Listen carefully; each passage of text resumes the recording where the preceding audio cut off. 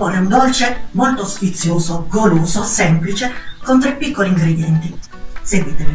Servono solo del mascarpone, la famosa crema di nocciole, dei biscotti petit e del caffè. Prendiamo il mascarpone. Vi ricordo che il mascarpone, se lo uscite mezz'ora prima dal frigo, si lavora molto meglio, anche quando preparate un semplice tiramisù. Lo versiamo nella ciotola. Non vi indico le quantità perché sono pari, quindi potete avere la confezione grande o quella piccola, l'importante è usare la stessa quantità tra Nutella e mascarpone.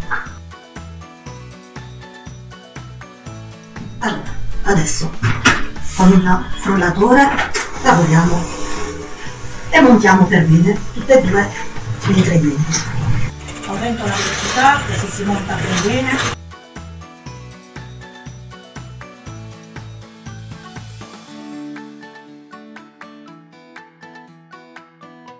Avevo preparato già del caffè, a me piace bello forte, poco zuccherato perché come potete immaginare già la crema è abbastanza dolce.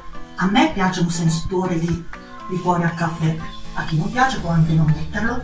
Non è un problema l'alcol perché poi col tempo evapora. Prendiamo i biscotti qui e iniziamo ad accoppiarli. Mettiamo della crema su uno, prendiamo un altro e formiamo le coppie.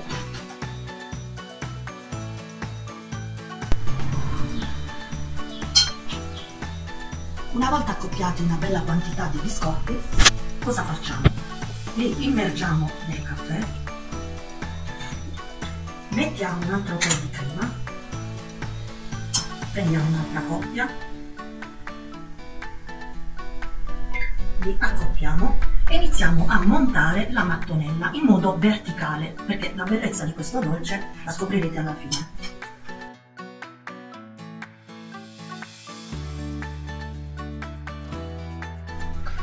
Abbiamo completato il montaggio della mattonella.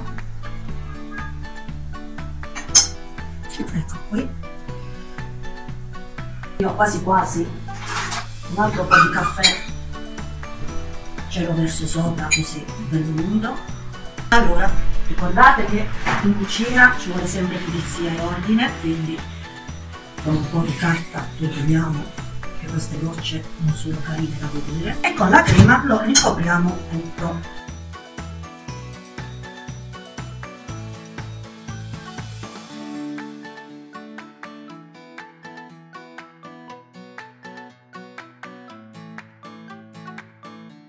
Questo punto ognuno lo può, può, decorarlo come vuole, c'è chi può mettere la granella di nocciole giusto per ricordare la Nutella, io mi ritrovo delle scatole di cioccolato e quindi preferisco ricoprirle con questo, è l'aspetto che cambia.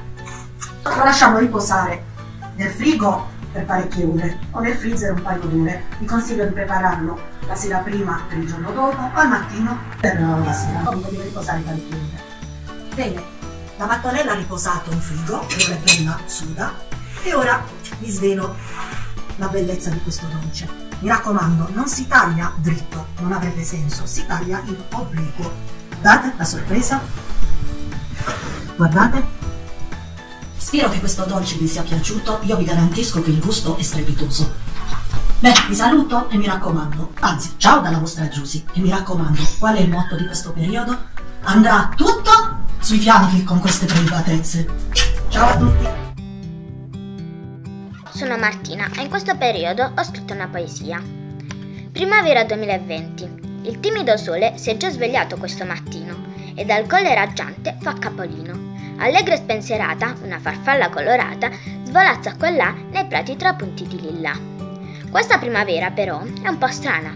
Fuori tutto sboccia e rinasce magicamente e noi tutti chiusi dentro la propria tana per salvare noi stessi e tutta l'altra gente da un virus invisibile e letale.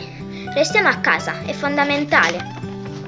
È difficile vivere tutto il giorno tra quattro mura e non poter giocare con gli amici all'aria pura. Ma non arrendiamoci, restiamo fiduciosi. Presto ne usciremo e gli abbracci saranno più preziosi. La primavera regala libertà e dopo l'inverno arriva la normalità. Ciao, andrà tutto bene?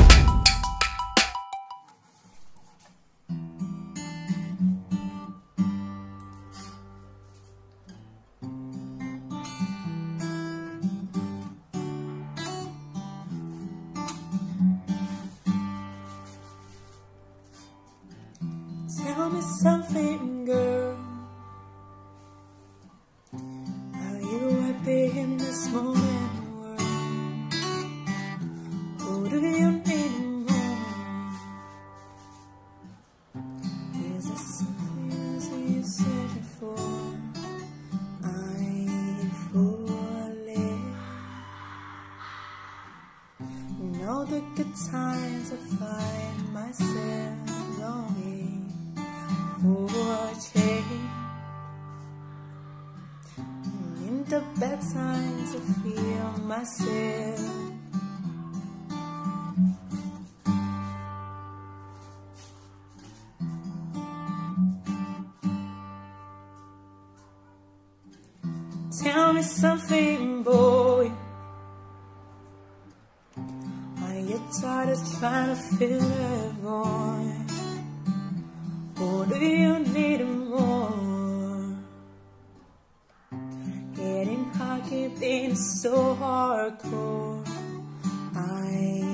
Falling.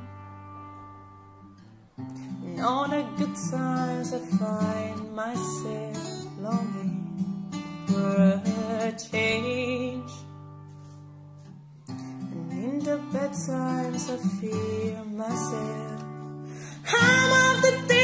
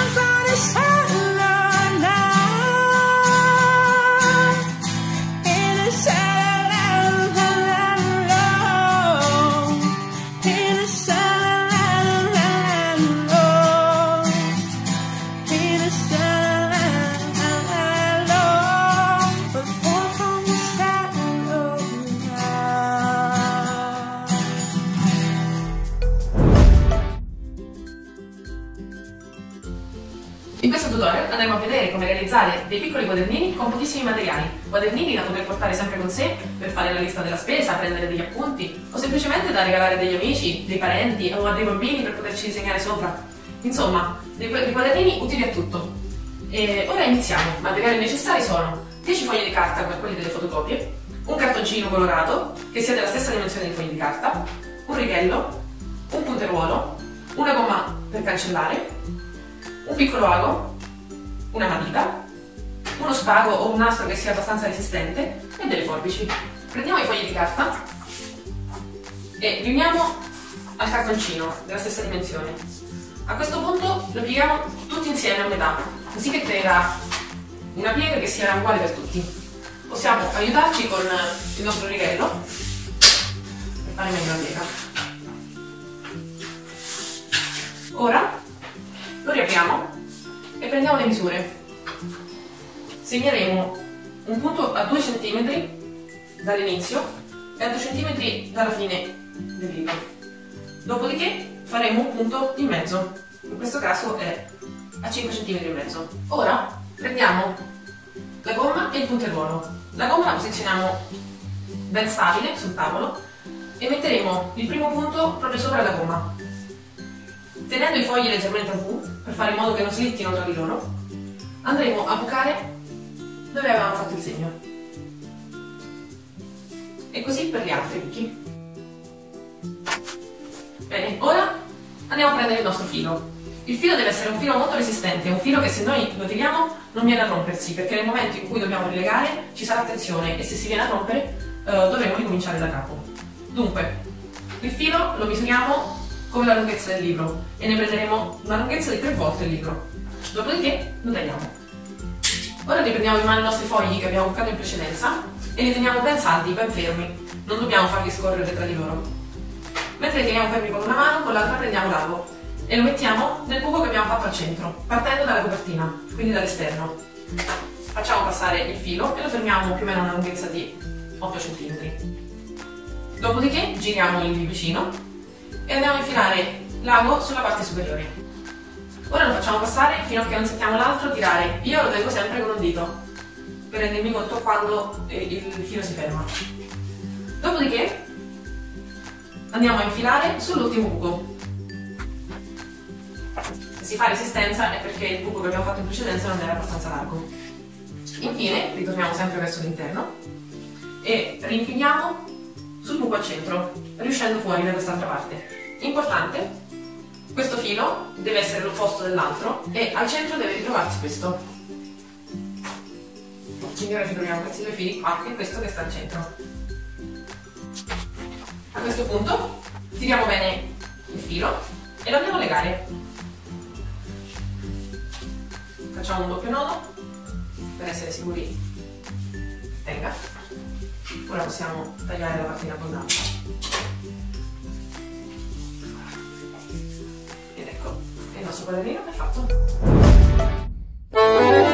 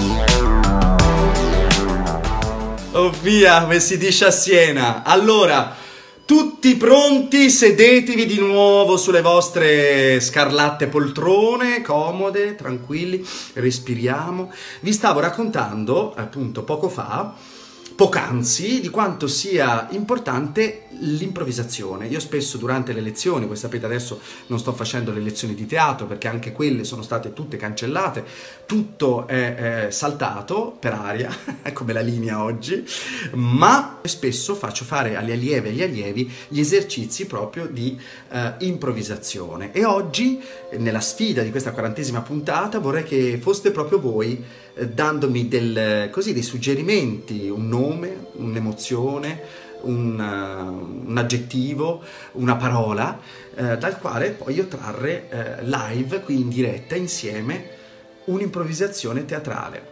Come se fossi su un set cinematografico, in una scena di un sceneggiato televisivo, sulle tavole, eh, solide tavole del palcoscenico, Partecipa anche tu a questa improvvisazione live, sarete voi a darmi dei suggerimenti su quale costruire una scena così in diretta.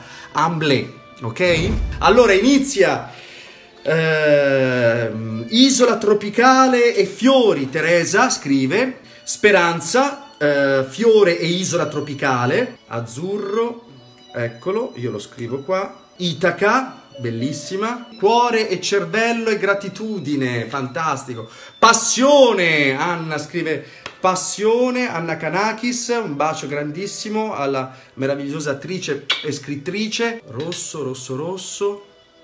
Bene, allora ci siamo quasi? Siamo pronti per partire? Iniziamo la concentrazione.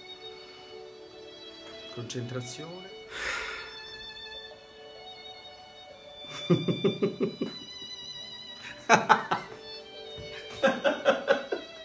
no, guarda, no, ti prego, smettila. Basta. No, no, no. No, ti prego. No, no, no. Guarda, così fai del male a, alle mie memorie. sì. Non mi sembra questo il momento giusto per, per, per, raccontare, dai, sono cose del passato, sono, sono già state tutte cancellate, abbondantemente cancellate, ti prego. No, no, basta, no. Tu lo sai quanta passione io ci metta in tutto quello che faccio. No, dico in tutto quello che faccio nella tua vita, eh, perché ormai io vivo soltanto per te, non, più, non ho più una, una vita mia, una, una, mia vita propria. Eh sì, è così, questa è la mia passione, io ormai vivo soltanto per te. Però non te ne puoi approfittare in questo modo, no.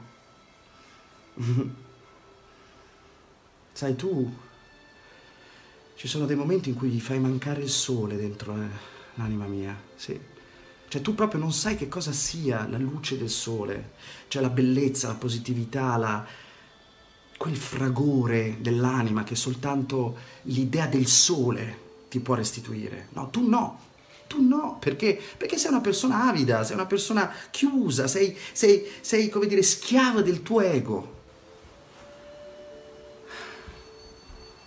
Solo una volta mi ha dimostrato di avere una certa sensibilità.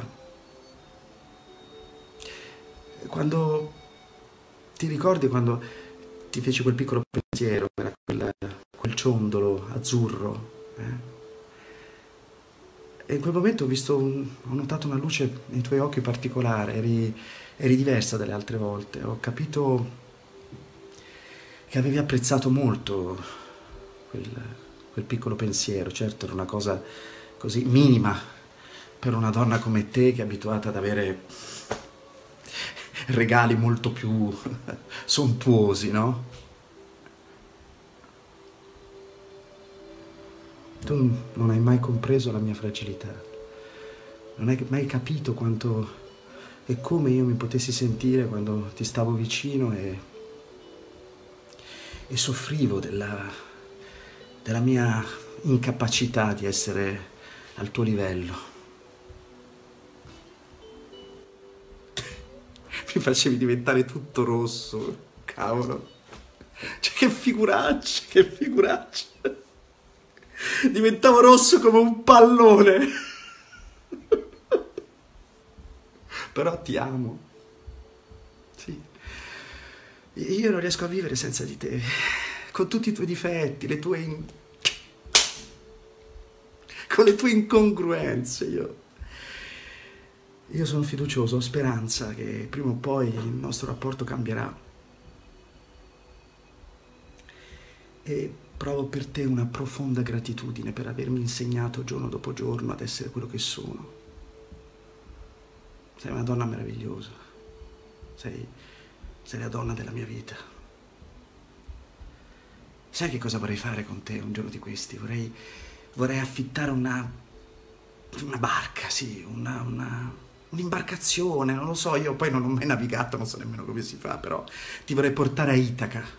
Sì, vorrei essere io e te da soli sull'isola di Itaca e stare abbracciati tutta la notte, sentirci l'uno nell'altra.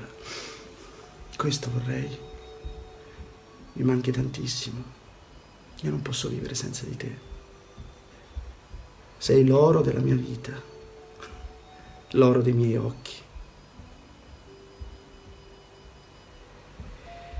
E se bastasse un fiore per darti la felicità e la gioia che si può provare in una mattina di primavera, svegliandosi su un'isola tropicale, io e te, da soli. Ti amo profondamente.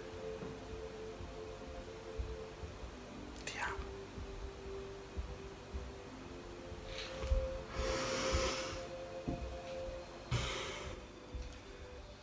Che cosa avete combinato? Che cosa mi avete fatto fare oggi? Una dichiarazione d'amore. Con le vostre parole scritte qua, memorie, passione, sole, celeste, rosso, speranza, Itaca, oro, oro, fiore, isola tropicale, azzurro e gratitudine. E la gratitudine a tutti voi, amici, amiche del Bocciarelli Home Theater, quale miglior modo per festeggiare insieme oggi questa puntata particolare. Abbiamo anche vissuto quello che può essere no, l'atmosfera del set, motore, azione, poi se non va si rifà, si riparte. Tante cose belle vi accompagnino, luce, felicità, gioia, che tutti i dolori del cuore, dell'anima e anche fisici possano dissolversi nel nulla con l'amore e con la gioia. Ciao a tutti!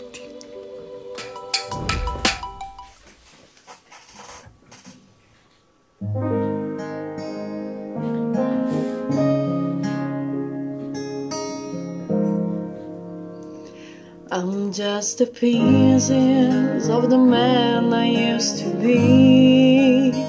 Too many bitter tears that rain down on me. I'm far away from home. I've been feeling this alone for much long.